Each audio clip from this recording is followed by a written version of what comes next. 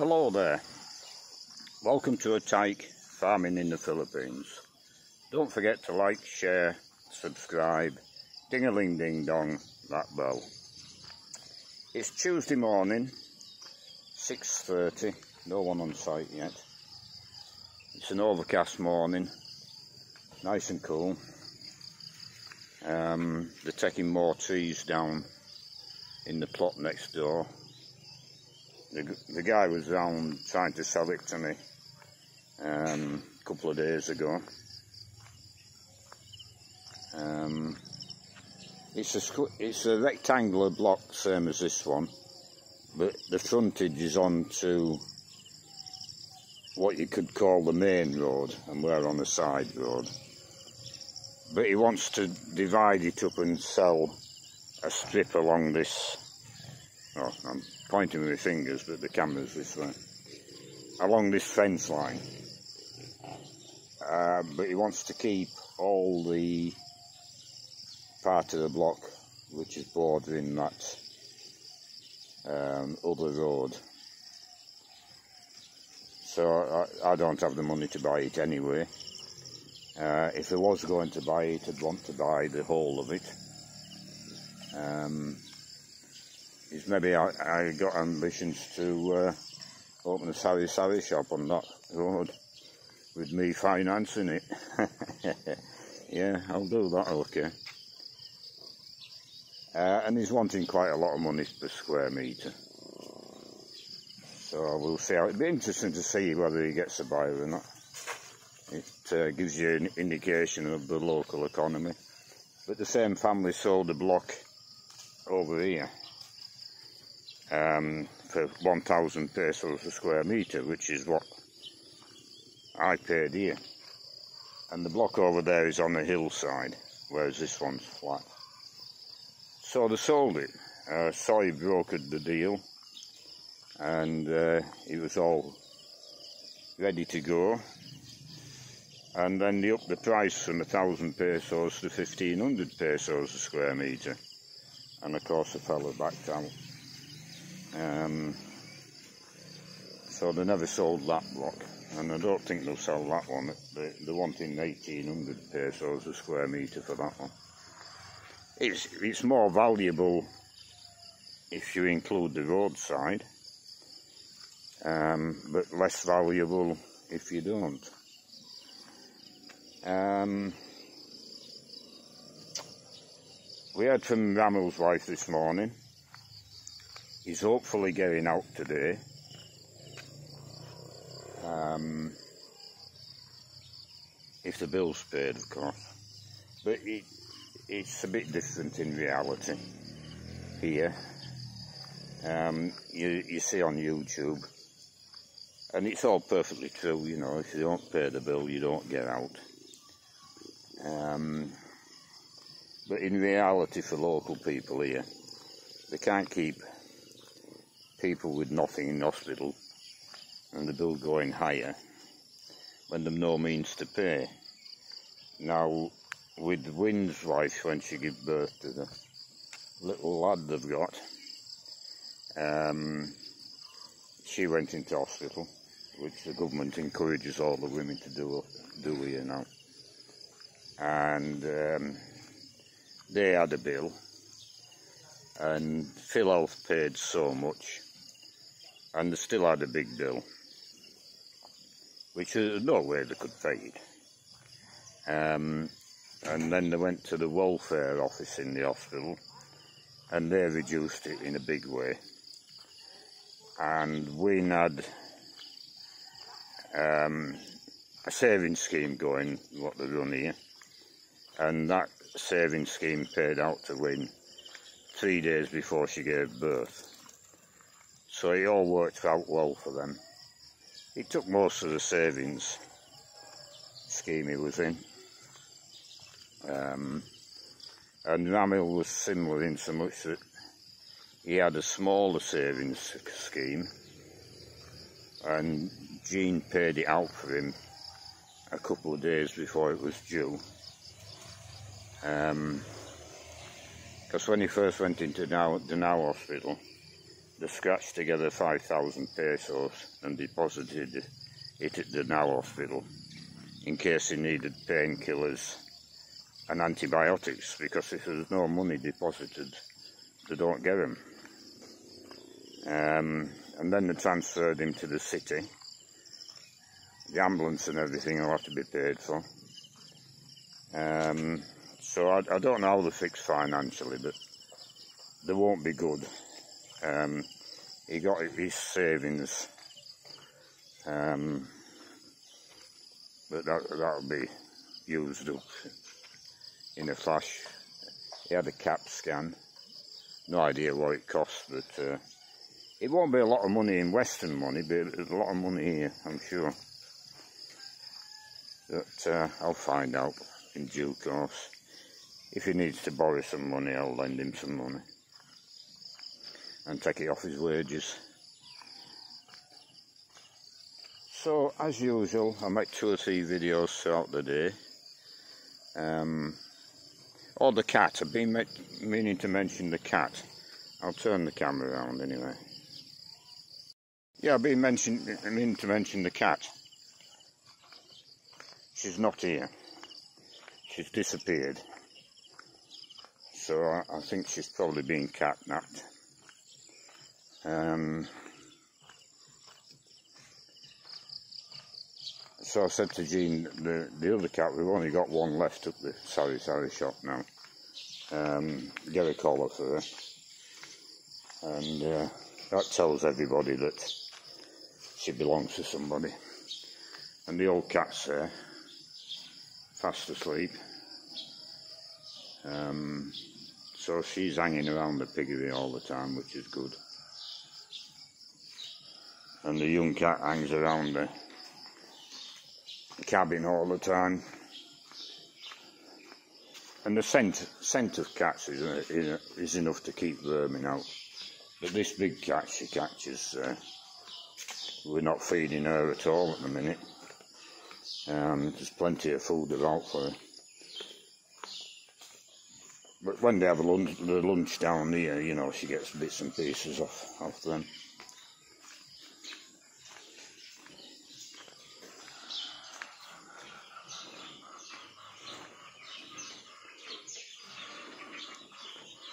Chickens are all okay this morning. I've put some new fermented feed in, which earlier on they were, they were going at.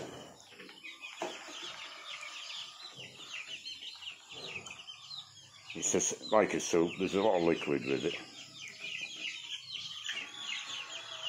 But the they're preferring it to the dry feed, that's for sure. The bowls were empty this morning. I filled them up last night. They're empty this morning.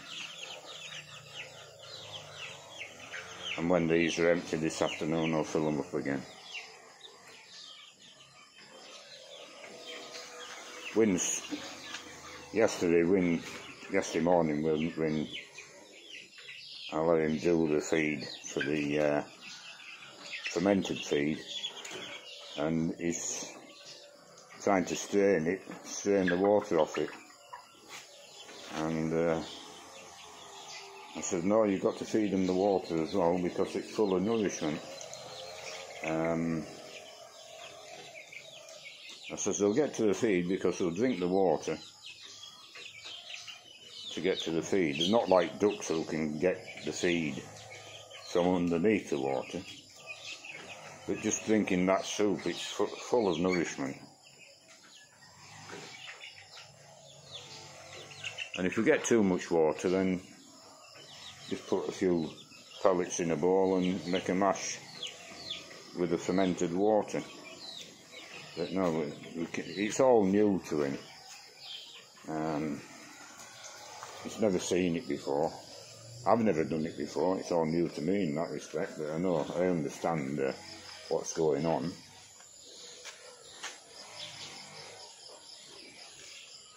Right, so I'll leave this video there. I'll go and make a cup of tea, waking up properly, and uh, I'll make another video if anything happens, or I'll make a video at lunchtime. Oh, the the, the uh, typhoon's still heading this way. Jean was telling me this morning. I don't know if it's a tropical storm or a severe tropical storm at the moment. It's in it's in the Philippine area anyway, and it's apparently predicted to landfall in the Visayas, which is our area. So it, it could be bad, but hopefully it'll head, it'll head north as it normally do, and uh, we'll miss it. But we'll have to wait and see in a couple of days' time for that. So I'll leave this video there and I'll do another one shortly. 8 o'clock. Roger's in this morning. He's cutting some grass around the, the cabin for starters. And uh, Hassan's in with the well pump which stopped working yesterday. Um, so I don't know what's wrong with it. It has been working fine, automatically. Uh, there must be plenty of water in the well because we had a lot of rain. So we'll we'll see what he finds. It's uh, one o'clock, so we'll go and see what we've done this morning. Uh, Wynn finished off the cementing on the front fence. I think there's still a bit in by the bottle shop to do. Um, and Roger cut a bit of grass down here out the way while they were waiting for Soy to uh, finish putting the clips up. I'll go this way.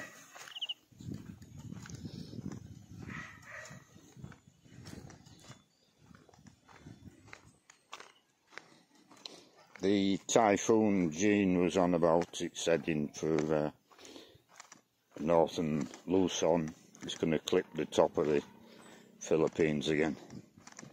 So it's not going to hit here with any force.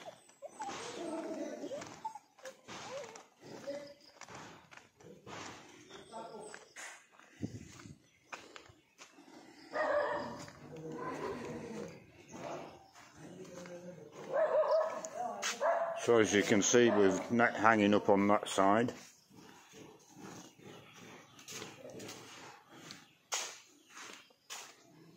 And we're putting net up on the end bit most of it now.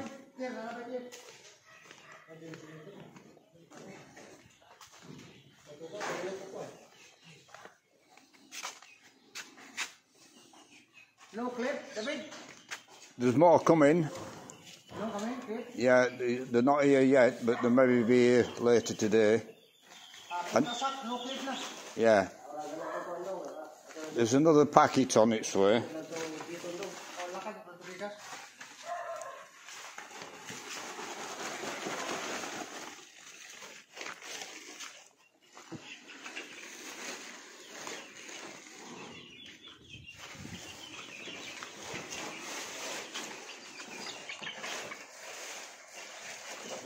Chickens are a lot more lively with this, these doors off. I've noticed and they like to sleep at the entrance here. I got this delivered this morning. For chopping up vegetables. Um, I tried it, yeah, it chopped them up no problem. Not an expensive machine, it's a cheap machine, but That's the sort of thing it chopped up. That was just a, a banana leaf. The bigger thing's supposed to do the stems. But I put some green leaves in, moringa, moringa leaves or whatever you call them. They've all been eaten. And I put the banana leaf in. Uh, they've all been eaten. So, but yeah, they're liking the green pick.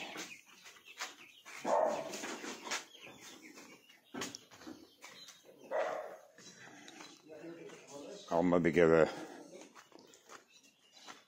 banana stem tomorrow morning and see if the machine will I'll chop that up.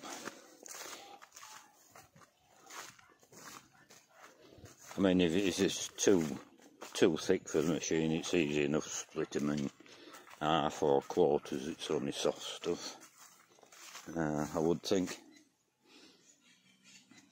But yeah it's, it's giving them alternatives to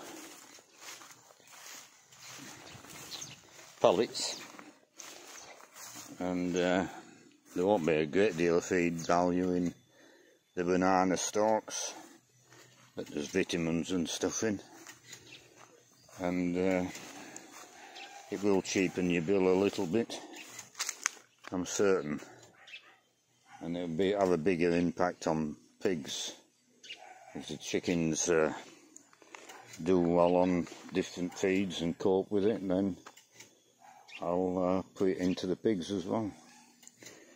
So I'll leave this video there and I'll do another one at uh, tea time. Uh, carol singers.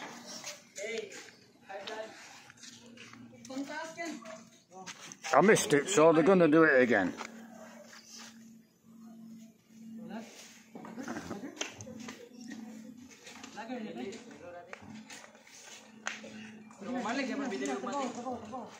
Oh, he's got a xylophone.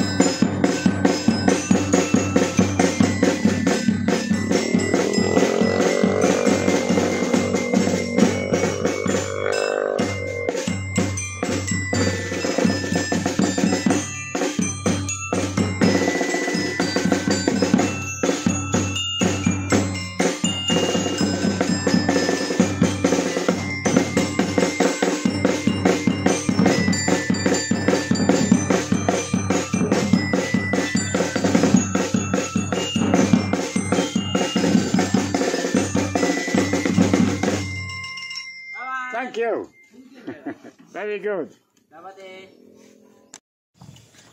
So it's uh, 10 to 5. We'll go and have a look and see what we've done today.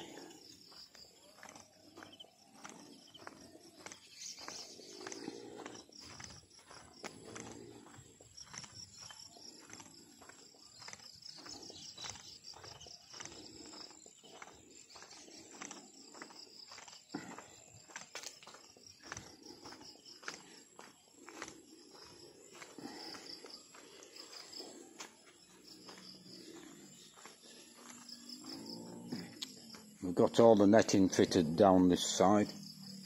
It's all clipped at the top and fastened with flat bar at the bottom.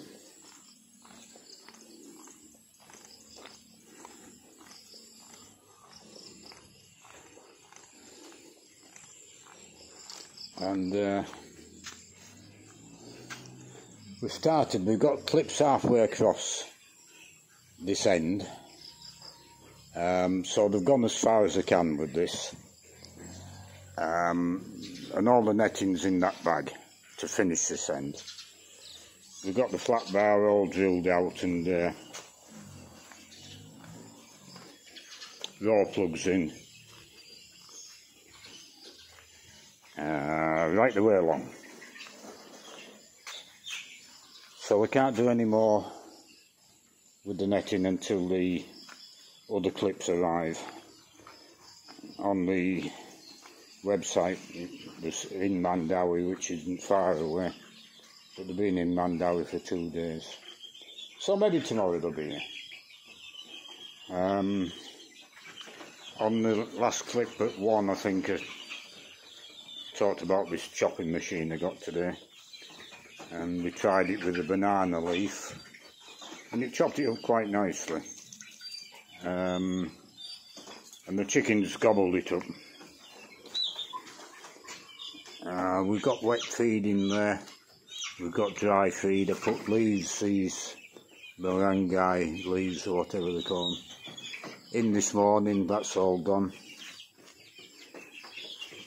Oh, there's a few leaves left there, if you can see them. These are smaller birds, can't reach the top. That's why they're still there. So I'll unhook it and I can finish the rest off. But um,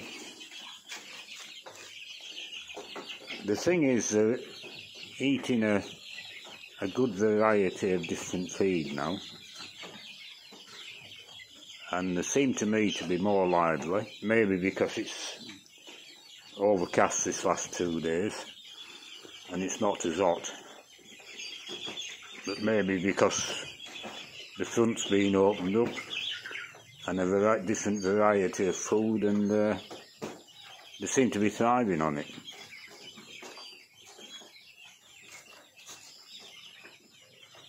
Yeah, they're, they're looking good. We did, did have a bird die three days ago, one of these smaller ones, but they're getting quite large. So Wynn's put uh, some antibiotic, antibacterial in the water yesterday today, and the next two days. He reckon he's seen um, a bit of uh, snot on the beaks. But uh, yeah, they're, they're doing all well. So we, we had 105, so we're down to 102 and some, a lot of these smaller ones came in as day old chicks. So we've lost very little. Um, so tomorrow until the clips come we can't go any further with the netting. But to get this wall in will be a good a good thing to do and then we can start putting the steel matting up. And then all, all this screened off with mosquito netting as well. And the other thing we can do now the netting's up on this side is the bird netting from the uh, guttering down to this fence. I've got two packs of it I don't, I can't remember what size, uh, or whether it's going to be big enough to stretch to the fence. It'll have to come down the fence, past the railings, of course, as well. Um, I'll bring that down tomorrow and they'll maybe get on with that, or they'll maybe get on with the wall, it doesn't matter. Because the birds can't go out here, well, they can go out here, but I don't want them, I want it finished before we let the birds out of this shed. I want the bird netting on, keep wild birds out. Um, yeah, so it's all coming together. It's, it's quite interesting, quite exciting. I'm very happy with the way things are going. Now tomorrow I'm going to cut a banana, old, older banana tree down which fruited last year. Um, I'll mince up the, the leaves and I'll use the whole banana, banana stem. Now there's going to be quite a lot of material So I'm thinking I've got plenty barrels. Um, if I just fed it a bit every day, then the majority of it would be wasted. So I'm going to stuff the barrels with it, put water on, and ferment it. Ferment the banana stems. So it'll keep and I can um, continue using it until it's gone. And that should work. So it's another thing to try. All the experimenting I'm doing on the chickens and then when the pigs come in um, what works I'll feed to the pigs. Um, give them a variety of feed. Give them some green pig. Now you, are not going to grow pigs out on bloody banana leaves and banana stems. You're going to get some vitamins out of them. Um, you're going to get the pigs are going to be more interested in the feed but to grow pigs you need protein. Um, when I'm next downtown I shall buy you, you can't buy sacks of maize here whole grain maize but I'll buy you can buy it by the kilo. I'll buy a couple of kilos of maize and um, I'll buy a, a kilo of soybean and if there's no soybean I'll, I'll buy a kilo of mung beans. Because I want to try fermenting that and to see whether a whole grain of maize when it's fermented and fed to the chickens I want to see what goes comes out the other end. Whether it's all been digested or whether there's uh, yellow skins uh, or whole grains coming through the chicken. Um, as I, uh, from what I've read, we should be able to get the entire grain digested by fermenting it. Now if that's the case, I shall uh, seek sacks of grain. Grain's not grown in this area, so there's no chance of getting it at the farm gate. At the farm gate it's about, uh, last time I looked, I think it was 23 pesos a kilo. Um, down the feed store, it's uh, around about 50, just under 50 pesos a kilo, which is a similar price to the um, pellets. Of course in the pellets you've got all sorts of different things in them. Whereas uh, the full maize grain, um, I don't know the percentage of protein, but it's, it's quite good. And soybeans are even better. But you need beans, you need to get the protein levels up. But if, if they're digested by chickens with fermenting, they'll be digested with pigs with fermenting. And I can maybe cheapen my feed by buying different grains in and making my own recipe for pig feed. I'd have to buy minerals and vitamins in, which I've got ordered for the chickens, but the pig minerals and vitamins are different. Um, so this is what we're experimenting with. Um, but the animals are going to be more contented on uh, different feeds, a better diet.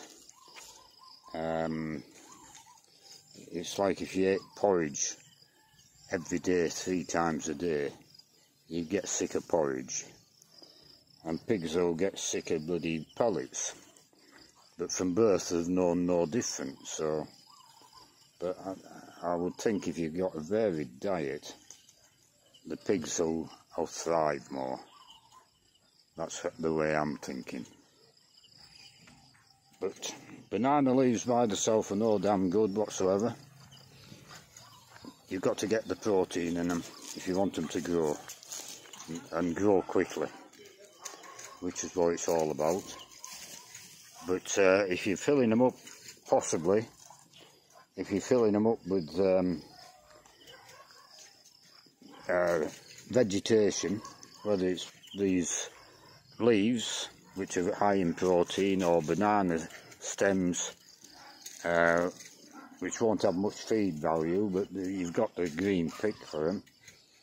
Um, there'll be more enthusiastic feeders, I would think. They'll, they'll, they'll get into the grain, but then they'll get into, say, lunchtime, if you give them vegetation, they'll get into that with relish, and they'll be ready to go into the, the uh, grains again at tea time enthusiastically, I would think. If I'm making any sense, I, don't, I lost the plot a little bit then. But that's what I'm looking at, that's, that's what I'm experimenting with, that's what I'm trying to do. So we'll leave this video there, and I'll do another one tomorrow.